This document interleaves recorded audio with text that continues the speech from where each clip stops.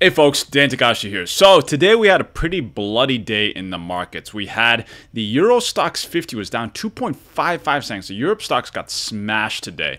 Dow Jones also was down 2.09%, 725 points, guys. Now, on top of this, I'm looking at oil, and oil crashed today almost 8%. This is looking pretty bloody. It's looking pretty ugly. Let's look at the charts. Let's look at the news. Why did this happen? Is this going to continue? Should we be buying? Should we be selling? I'm getting hundreds and hundreds of questions on the Japanese channel and my English channel. I want to try and go through this very carefully, looking at the stock market, commodities market, and also at the treasuries market, and give you guys my take and an update on what's going on right now. Those of you new to my channel, my name is Dan. I'm a former Wall Street trader. Would appreciate if you guys press the subscription button as well as the like button and the notification button below, and you'll get notified anytime I put out new content. Today currently is Tokyo, Japan time, 3:21 p.m. and it is July the 20th, meaning that it's still at 2:21 a.m. Uh, New York Eastern time zone. Okay, so guys, let's walk through this here and let's talk about what happened. So before I get into this, guys, just as a reminder, I'm likely going to release the new uh, and latest and probably maybe the final version of my app uh, this week, probably Thursday, Friday, Saturday. So this is the world's first, as far as I know, social media platform that you can directly make money without any sponsors or any affiliates. It's the world's first. And not just that, but anybody can do it. You don't need to be some super celebrity with 10,000 followers. Take a look at the app. I think it's a pretty interesting idea. And not just that, there's a rating system on it. So we actually will allow, it's up to you to get rated or not. Especially if you want to make money, then you need certain ratings. And it's not just about how many followers you have, it's about the quality of your actions and your posts. So uh, feel free to check that out later on this week. I'm very excited about this. I got a team of almost 30 people now. It's a big team, so super excited about this. So let's get into the markets, guys. What the heck happened today? So Dow tumbled 700 points for its worst drop since October as investors fear a COVID resurgence. Basically, it's talking about how the market is getting destroyed right now because the world is worried about coronavirus. Again, picking up here. Uh, and I'm looking through this news, and you know, it's you know talking about how the Dow had this worst day since October of last year. Uh, again, today it fell. Today, July 19, 2021, 2.09%, and the last time it got this bad was September 8th of 2020. Uh, COVID cases have rebounded in the U.S. this month with the Delta variant spreading among the unvaccinated. Uh, it's especially spreading in Europe as well. Now, this seems to be the mm, sort of the indicator that's what's causing the mar- market to go down here. And we saw big names that are related to COVID, like you know Carnival Corp, etc., uh, got hit really badly as well. Uh, again, we're talking about how energy also got it set, shed 7.5 percent to go down 66.42. So again, a lot of this is really related to coronavirus. So coronavirus related to cruise stocks, then coronavirus related to energy as well, uh, and then we also saw some of the airline stocks stocks like Delta, American, United all sinking 4 or 5% here. So that seems to be like the main reason why we're getting hit here. Now, is this really something that we should be taking notice of? I mean, guys, overall, I'm looking right at the objective data here. Yes, cases are going up right now, but we're not even close to what we were at, you know, let's say in April or May or June or you know even farther back as let's say 2020 in December November, October, we're not even close to the levels that we are right now for daily new cases. So they're definitely going down quite a bit here. Uh, and not just that, but daily new deaths are going down dramatically here. Uh, you know, right now we have daily new deaths that reported yesterday for July 19th worldwide at 6,858. And guys, this is again less than half. It's almost about a third of the peak at January of 20 this year. So, guys, just to note that, you know, the vaccine is working. The Delta variant, yes, it's out, and yes, it's not having a good effect on the economy, but overall, the vaccine is kicking into the economy. But it seems that we have some worries that this might be continuing to go forward. I'm skeptical that this is really the reason why we're going down. I don't think it's just this. I think it also has to do with the tapering that is upcoming here. I, I strongly believe it has to do with this tapering here. And I've been talking about this in a lot of my videos. Feel free to check them out from this week or last week. But basically, I think that the Fed is going to start tapering its MBS, which is mortgage-backed securities. I think the ECB will probably start tapering as well, maybe a little bit later than the uh, Fed because the Fed, the U.S. has a very high inflation right now. Canada is already starting to taper. Um, looking like Australia will probably start to taper soon. It's all going to start happening probably August, September, probably late summer or fall, I think this is going to start to happen and it will start to get announced. And the market is starting, I think, to brace for this reality. I think that is what's causing the biggest sell off here. And we can see some of this news here that a, lot of hedge funds are getting blindsided by it right, this bond rally right now. Right now, basically, guys, bonds are rallying. Bonds are going up and up and up and up and up. And bonds are going up, and a lot of hedge funds are short. And this is what's causing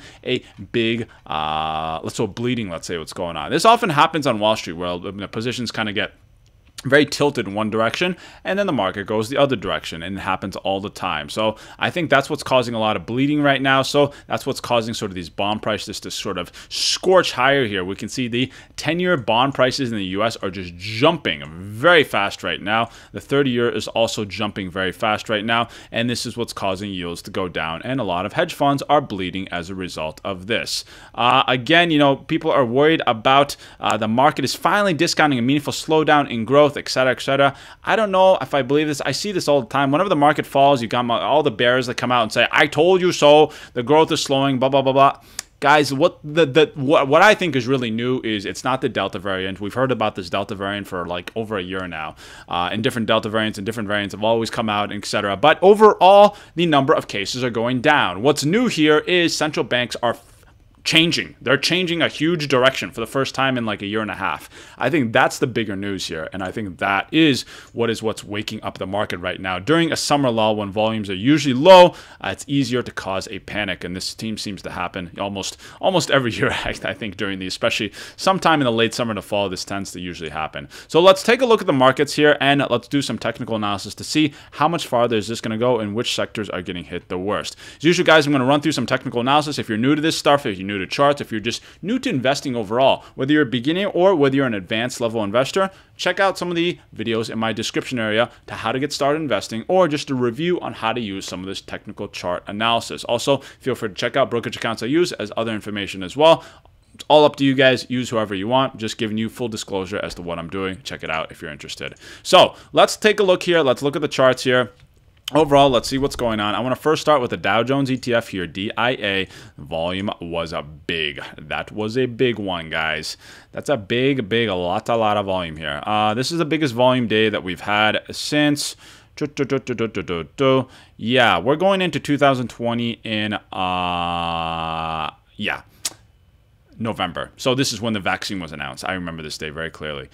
That's the type of volume we're having right now. That's pretty big. Uh, I think that is worth noting that we haven't had this type of volume uh, when the vaccine was out, and then we had a huge up move, and now we're having equal uh, huge down move right now in terms of volume. So, guys, that's a little bit scary here. The S&P 500 volume was not as big. This is the biggest volume since March this year, so not as scary. And then the Nasdaq QQQ volume actually not as big as well. And then looking at the Russell here, the Russell volume was ooh, that was a little bit big too, but still, it's only as big as it was in March this year. The real big selling pressure seems to be in the Dow here, the Dow Jones stocks especially related to uh, airlines, cruise lines, energy, etc. Something that's you know related to the coronavirus or anything stopping, uh, you know, relating to the coronavirus. And but when I say stopping, anything stopping the economy from recovering due to the coronavirus, I think these are the names that are getting hit the most. So let's look at the sectors here. Today, very interestingly wise, retail not hit that much. SOX index, the Look at this semiconductor index barely went down 0.1% today, barely anything. Pharma also barely down today, guys.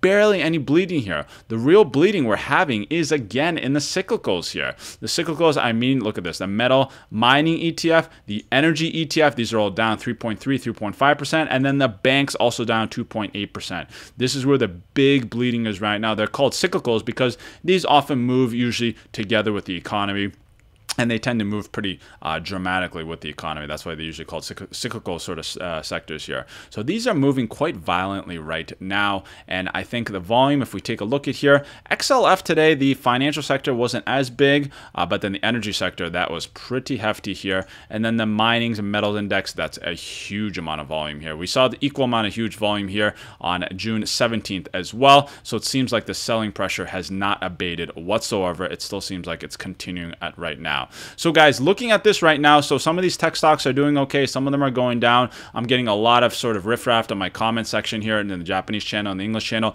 Dan, tech stocks are not really re getting reacted here. You're telling us to sell tech stocks, but they're not getting reaction right now. Shouldn't we be buying these tech stocks? You know, and what should we be doing with is airline stocks and cruise line stocks? You've been telling us to be you've been telling us to buy these things basically since last year, even before the even before the vaccine came out. Uh, they've been great winners so far. Is this the time to cut our losses? And also bonds right now. What should you be doing right now? So let me give you my detailed analysis and a update on my advice based on today's move.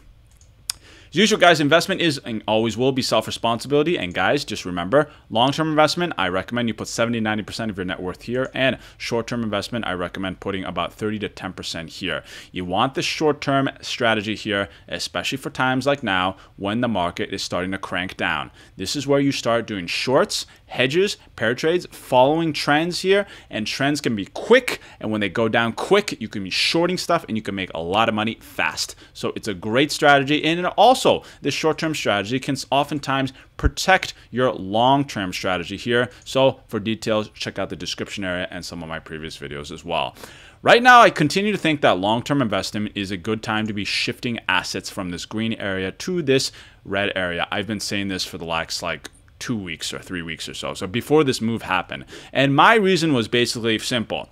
If you look at the last 10 years of history, usually there's a little bit more volatility in August and September that was my video. I'll put it again on the uh, uh, at the end of this video. I'll put it in the um, ending screen here. So I continue to think that's a good thing to do.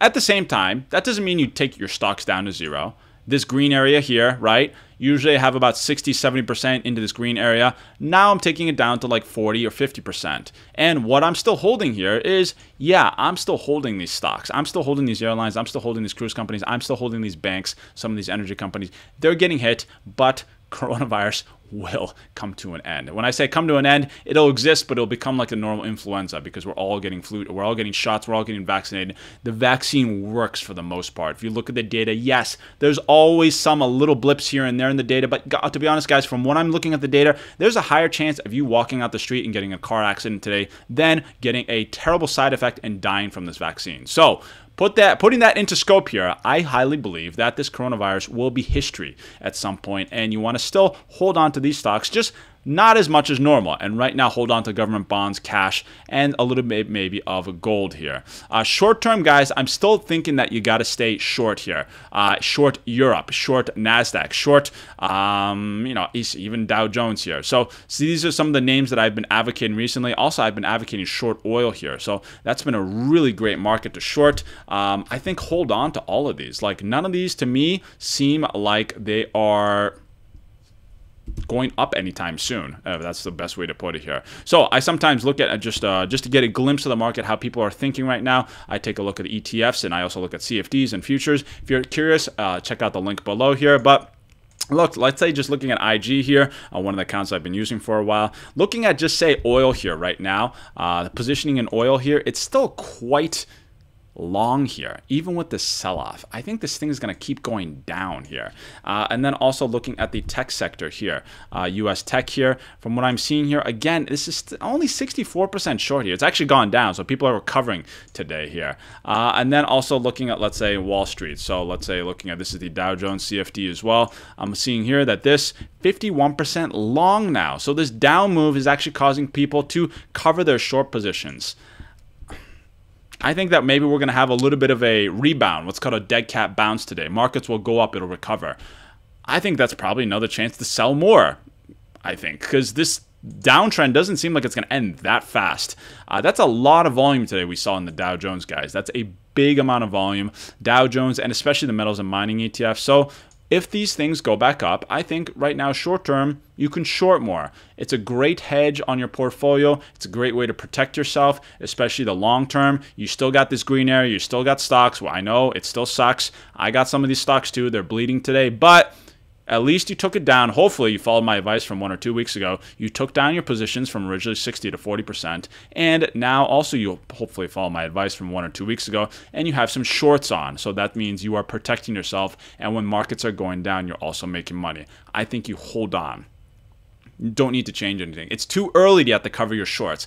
This downturn just happened. It's just one day it's been so far. Let's give it a few more days. I don't think there's any rush to cover. Right now, we're in a downtrend. We're not in an uptrend. You want to be short stocks you don't want to be long in especially this short-term trading account so guys that's my advice for today hopefully you enjoyed today's content if you did please press the like button the subscription button as well as the notification button below i love you all good luck investing everyone and i will keep you updated soon